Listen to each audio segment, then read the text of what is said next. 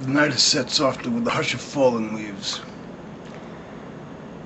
casting shivering shadows through the houses and the trees, and the light from a street lamp paints a pattern on my wall like the pieces of a puzzle or, or a child's uneven scroll. Up a narrow flight of stairs.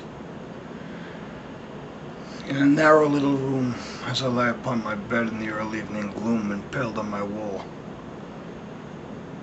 my eyes can dimly see the pattern of my life and the puzzle that is me.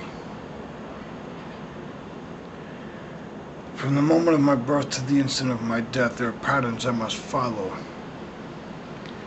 just as I must breathe each breath. Like a rat in a maze, the path before me lies, and the pattern never alters until the rat dies.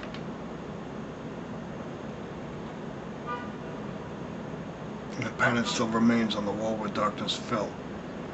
And it's fitting that it should, for in darkness I must dwell. Like the color of my skin the day that I grow old. My life is filled with patterns that can scarcely be controlled.